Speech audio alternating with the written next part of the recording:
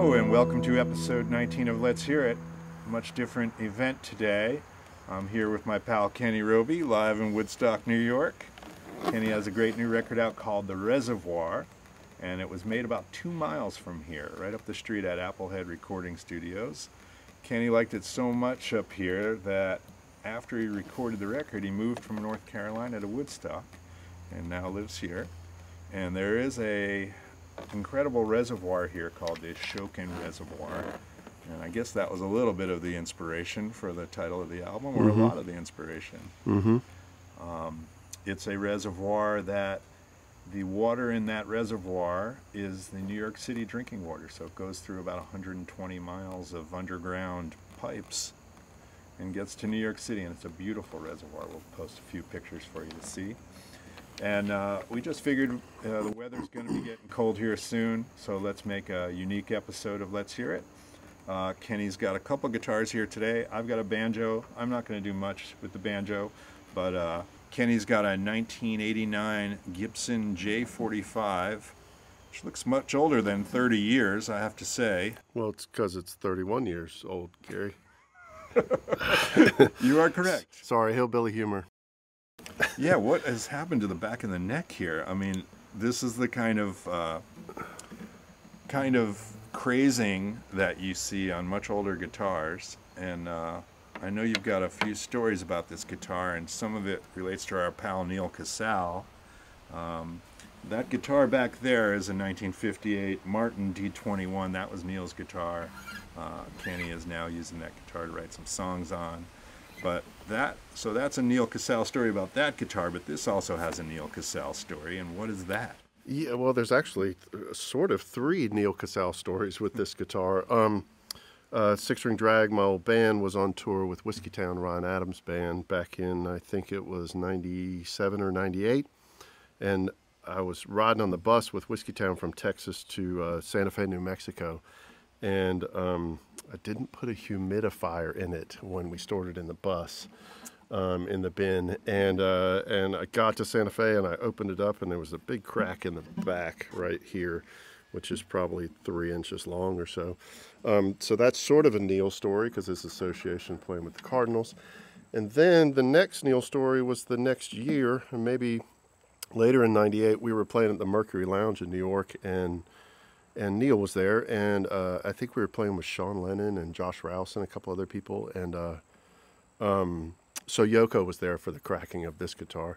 Um, um, so uh, we uh, we were loading stuff off stage after we played, and Neal was helping us grab some equipment and put it down onto the um, the floor, and somebody's foot got caught in the uh, cable that was plugged into this, and it sort of jerked the guitar off the guitar stand. It was sitting on near the edge of the stand. And, I mean, near the edge of the stage, and uh, the guitar fell almost off the stage. And Neal grabbed it, but when he grabbed it, uh, it swung and it hit the edge of the monitor on the edge of the stage, and it's got like a four-inch crack right here in the top. So that's the other Neal story, and the other one we like to say is is Neal's fault, um, or that he had something to do with it. Um, we uh, I was playing with the the guys who played on the Reservoir, uh, opening up for Circles Around the Sun just before the pandemic this year, um, uh, at Brooklyn Bowl, and I guess the guitar fell over somewhere backstage in the case, and um, I guess Neal felt that it, it needed some reinforcement in the neck, so um, we'd like to say that he had something to do with it breaking. but I opened it up the next day to do the video for Old Love with the guys in the city, and I was like, "Holy shit, what is going on with my neck?" And the neck had broken off. If you look at my Instagram back then, you'll see the pictures. The neck had like almost broken off. It was like at this angle. So uh, we sent it to uh, John Shannon's guy Lou in Brooklyn, and I just got it back a little while ago. But uh, as a lot of people say, it's probably stronger than it ever was. So, um, damn Neal, appreciate it. I think. So Neal's career as a roadie was not was not uh, historic. His one experience as a roadie was uh, Well, it was historic. break. Wasn't necessarily on the right side of history, but I don't know.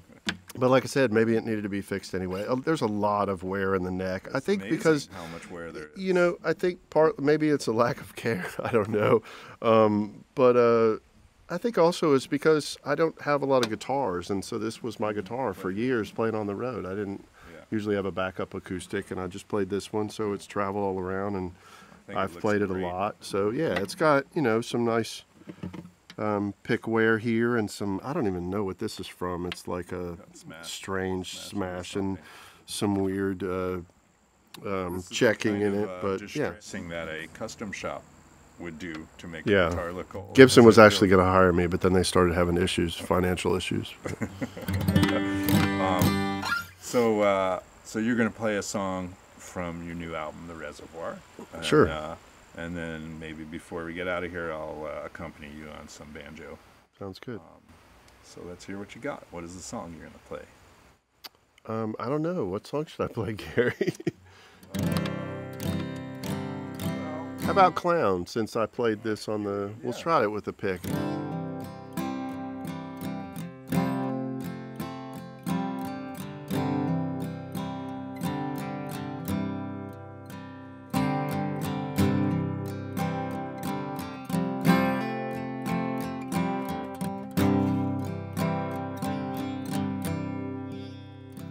There's new limp in my walk, and a honking when I talk. There's still makeup on my face. I don't fit in this place. I wear my red robe to the street. Check the mail at my big. And there's papers all over the house. I guess I ain't trying so hard. Everybody's looking me up and down.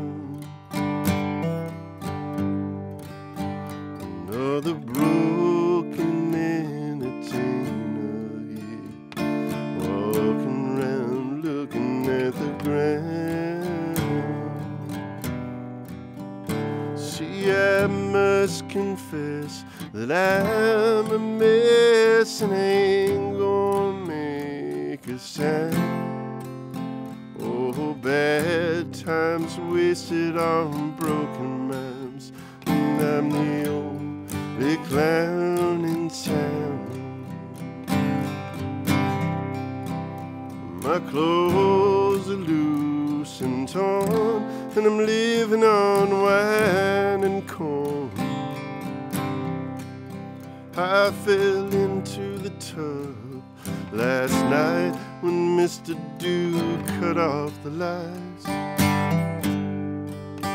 I got a new way of looking at love, and it don't come from above. Another sucker singing a song about a sucker who got it wrong.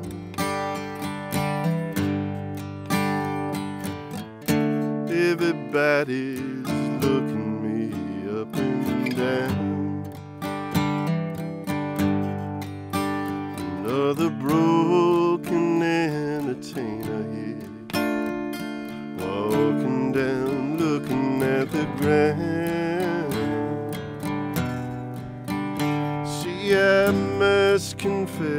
that I'm a mess and ain't gonna make a sound. Oh, bad rhymes wasted on broken minds, and I'm the only clown in town. Oh, cutting lines, wasting on broken minds, like I'm the only clown in town.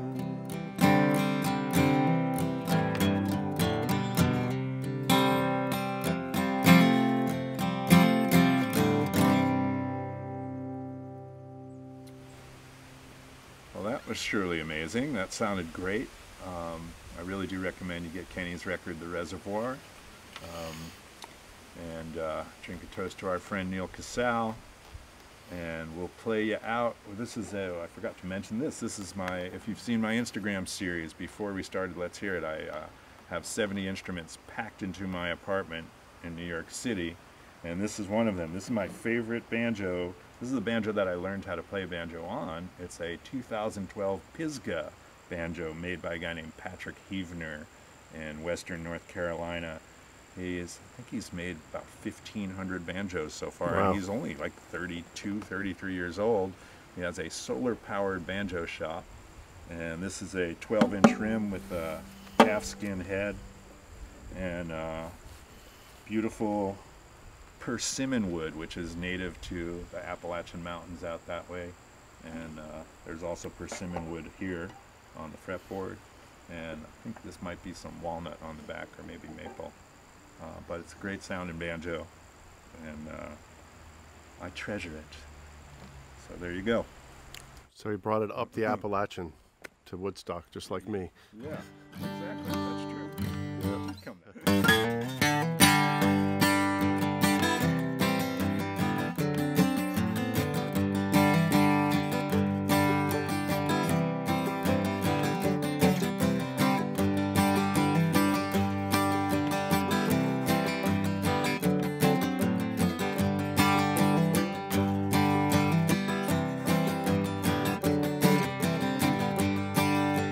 I was all alone there waiting on the porch when whipping the shirts and the flame on the torch.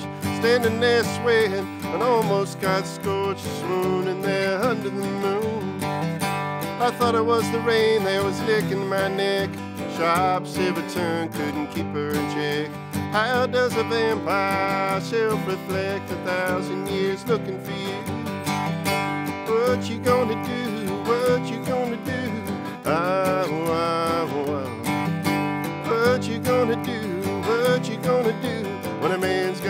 nothing to?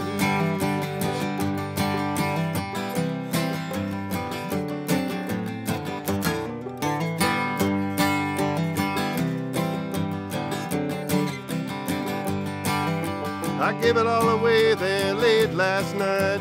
Heart filled with ice and chest got tight. Skin was a sizzling when I woke up in the light. One a damn thing I could do. I saw the truth in your lipstick case.